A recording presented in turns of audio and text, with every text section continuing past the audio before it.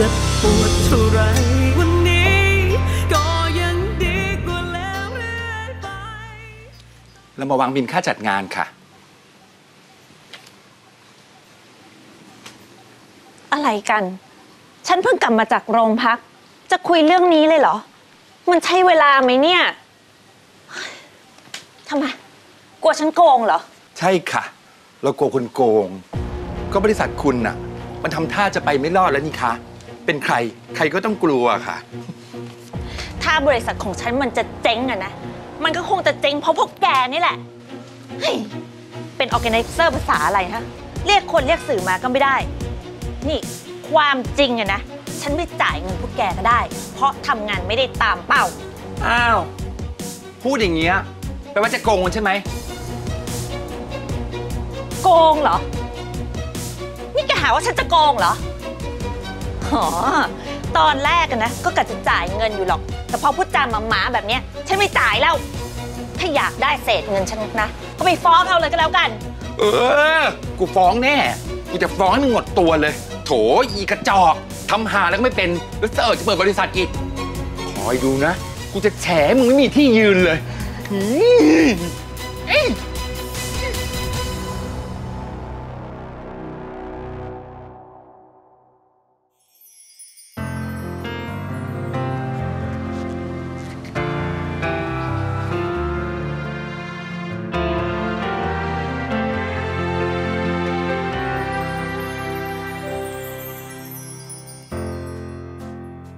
อยผมอยากจะให้คุณทำงานให้ผมอย่างมากเลยนะ แล้วผมก็สามารถทำให้คุณไปได้ไกลกว่านี้มาก แต่ถ้าคุณมาที่นี่ คุณต้องมาทำงานจริง ๆ ไม่ใช่มาหาทางลัด ชีวิตของคุณเนี่ยเจอทางลัดมาเยอะแล้ว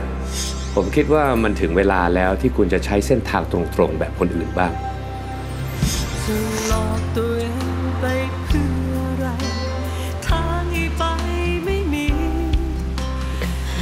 ทำไมคุณไม่อยู่กับฉันนะทำไมคุณไม่อยู่คอยช่วยฉันเหมือนที่คุณเคยสัญญาเอาไว้อะบิว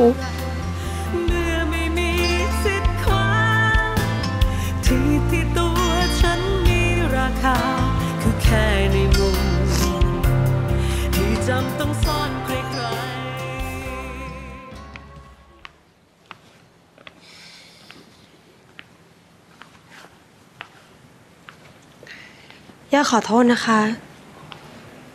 ย่าไม่น่าบอกเรื่องเรยาให้มาคุณรู้เลย มันไม่ใช่ความผิดคุณยอดหรอกครับ อย่างน้อยการที่คุณยอดยอมเล่าเรื่องนี้ให้ผมฟังทั้งหมด มันก็แปลว่าคุณยอดไม่ได้มีเจตนาจะทำร้ายใครแล้วที่จริงยอดก็สับสนอยู่เหมือนกันนะคะ ใจหนึ่งยอดก็สะใจที่เขาเจอเหตุการณ์แบบวันนี้ แต่พอคิดได้ ว่าเขาต้องสูญเสียอะไรไปบ้าง ยอดก็อดสงสารเขาไม่ได้นะคะ ถือเป็นจุดเริ่มต้นที่ดีเลยนะครับ ก่อนหน้านี้คุณยอดไม่เคยคิดจะแยแสเขาด้วยซ้ำแต่ตอนนี้คุณยอดเริ่มรู้สึกเป็นห่วงเป็นใย ถึงแม้ว่ามันจะเป็นเพียงจุดเริ่มต้นเล็ก ๆ แต่ก็ถือว่าเป็นสัญญาณที่ดีเลยนะครับ จริงเหรอคะ จริงสิครับ ผมอยากให้คุณยอดเก็บความรู้สึกนี้เอาไว้นะครับ แล้วก็ให้มันเจริญเติบโตขึ้นมา จนลบความรู้สึกเกลียดไปได้ทั้งหมด ค่ะยอดจะพยายาม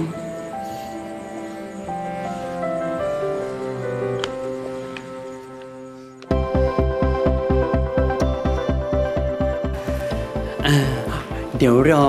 น้องยอดเขาสักครู่นะคะ เพราะว่าบริษัทออแกไนเซอร์ของน้องยอดเนี่ยรับจัดงานนี้ให้เราอะค่ะ อืม ขอโทษนะคะรถติดนะคะเลยมาช้า เริ่มประชุมกันไปหรือยังคะ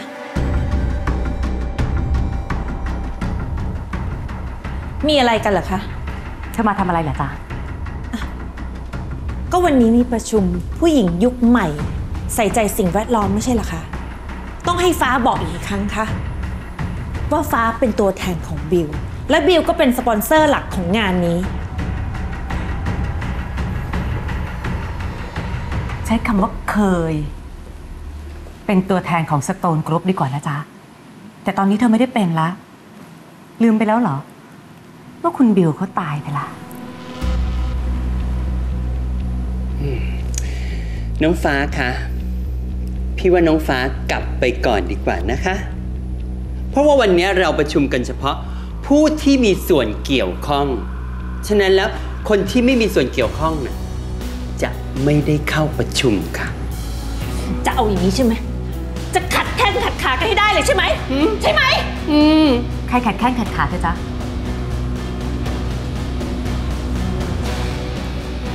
ไม่เข้าใจหรือไง ว่าเธอไม่มีส่วนเกี่ยวข้องกับงานนี้ล่ะ กลับไปเถอะ จะอยู่ให้อายกว่านี้ทำไม คิดว่าไล่ฉันได้ แล้วจะอยู่รอดได้หรือไงฮะ ฉันล่วงได้ แกก็ล่วงได้เหมือนกันแหละ อย่าลืมสิ ว่าเราสองคนน่ะมันกำพืชเดียวกัน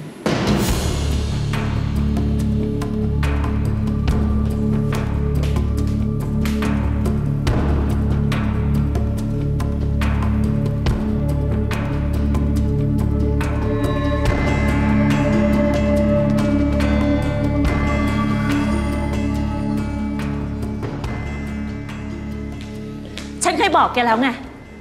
ว่าฉันไม่เคยมีอะไรกับพ่อของแกทำไมอะทำไมแกต้องตามจองล้างจองผลาญฉันด้วยอะ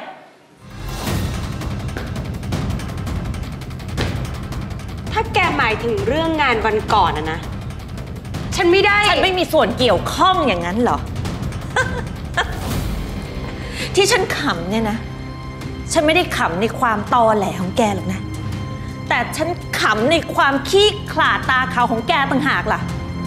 แกกล้าทำแกก็กล้ายอมรับหน่อยสิ เปิดหน้าท้าชนไปเลย ไม่ใช่หลบอยู่หลังของแกแบบเนี้ย แกโกรธ ที่งานแกมันล้มสินะ โอเค จะชดใช้ให้ก็ได้ ส่งบินค่าใช้จ่ายมาก็แล้วกัน คนอย่างพวกแก ก็ดีจะใช้เงินแก้ปัญหาสินะ มีแต่งเงิน ใช้เงินแก้ปัญหา แกรู้อะไรไหมชื่อเสียงของฉันอะมันป่นปี้ไปหมดแล้วอะฉันไม่เหลือเครดิตที่จะทำมาค้าขายอะไรอีกแล้วอะแล้วแกคิดเหรอ ว่าเงินทองของแกมันจะมาแก้ไขปัญหาอะไรได้ แล้วแกจะเอาอะไร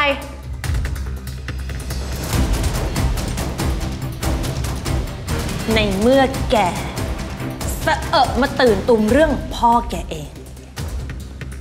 ถ้าจะชดใช้ ก็ชดใช้ด้วยพ่อของแก ดีไหมล่ะ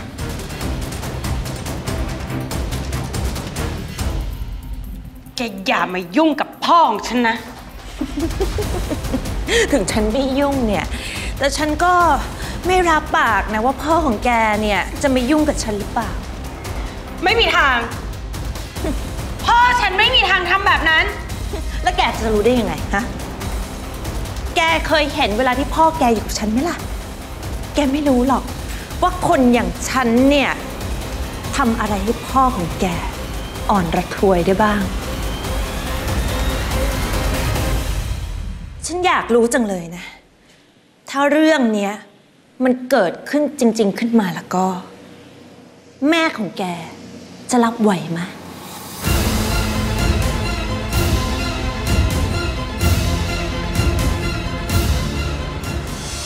มีอะไรด่วนไหมครับ คือว่าคุณฟ้า คุณฟ้า